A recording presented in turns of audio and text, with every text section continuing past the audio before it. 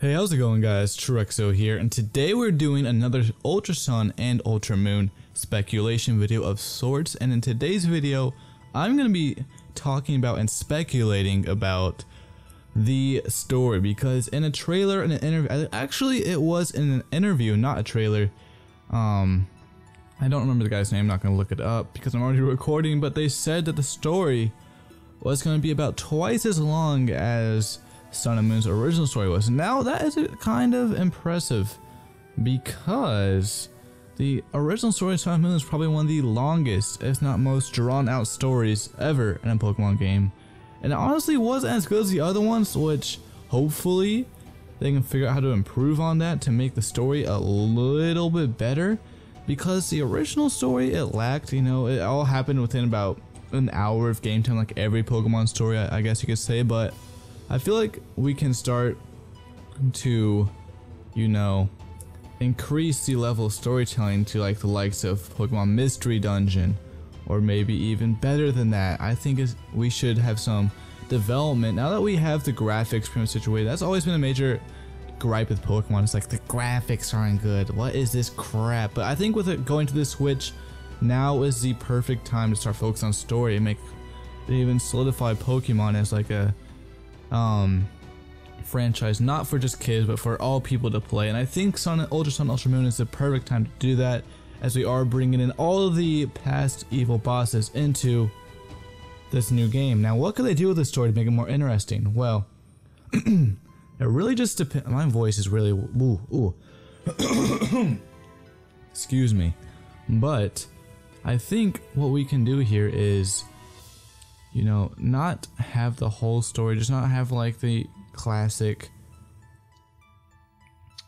Team Rocket, or not just like a grunt in general, not just have a few grunt battles for the first half of the game, and that's it. No, like have some character development, like develop, have us figure out the reasoning that isn't just money or isn't just world domination. Come up with some literal physical reason like in Diamond Pearl Osiris. I want to see that in the game. I would love to see some sort of story I can feel, much like a mystery dungeon. Give us a purpose to save the world, not just because you're telling us to do it. And that's how you beat the game. I really want to feel it. And how can I do this? Well, Lusamine needs to come back. I think she's coming back. I'm not sure. I'm pretty sure she is though. It's supposed to be an alternate timeline to Sun and Moon, so um, all the characters are still there. And I just thought about something about how Cyrus came back because if it's an alternate timeline, it could mean it's alternate, also an alternate timeline from Diamond Pearl Platinum. That's another story for another day. Who cares?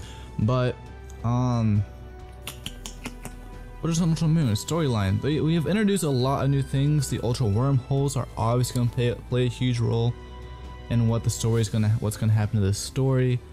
Um, the new Ultra Wormhole Police Force. I don't remember the name off the top of my head. I'm not going to look it up, but you know who I'm talking about. The new people.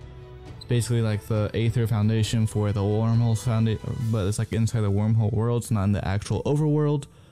So, what can they do? What, how are they to integrate everyone? So I think what I think is going to happen is you're going to be teaming up against Aether and Team Skull and all the other teams with the task force that is within the wormhole. Because obviously they don't want some random people coming in and stealing all of their stuff and using it for their own good.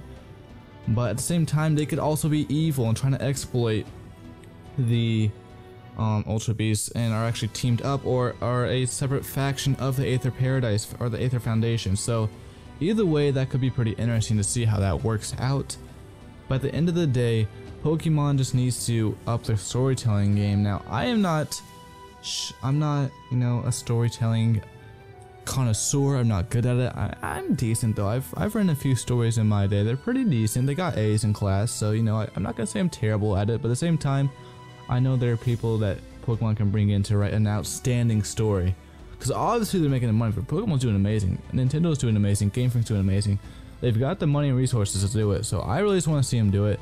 I think that having a deeper storyline than what they originally have will help them do it, and I think that incorporating more than just legendaries into the story and have like I know in Sun and Moon they took strides in the right direction with bringing the Lusamine um, Lillie and Gladion storyline. That was pretty interesting, but build on that. I want to see that continued. I want to see that storyline developed a little bit more as to why they fell apart, not just that they fell apart, because Lillie didn't want to um, give up Cosmog to Lusamine. Like, build on that. That's a great foundation. Now build on it. Show us how Lillie escaped. Show, know they show us how, but like, show us the build up to Lillie escaping. How she managed to pull off that feat? Because as a girl who's scared of Pokemon battles, she obviously had no help in Pokemon because she is so incredibly scared of them, except for Cosmog.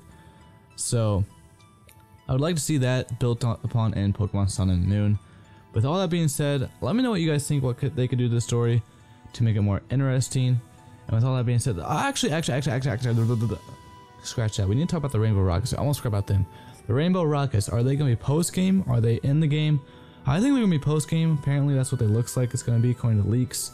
Um, I haven't looked at a single leak, so I don't know. This is what I've seen on Twitter. But I want to see the Rainbow Rockets involved in Justice into the in-game storyline, not just post-game. Which if they're just post-game, that make the post-game incredible. So okay, it's a win-win situation, but I would like to see them in the main game as well to build up on that amazing story they need to push sales for Switches so that people are going to want to buy the new Pokemon games. With all that being said, let me know what your thoughts about that. I'm going to go ahead and get out of here. If you enjoyed this video, be sure to drop a like down below because it is greatly appreciated, but I'm out of here. See you later. Bye!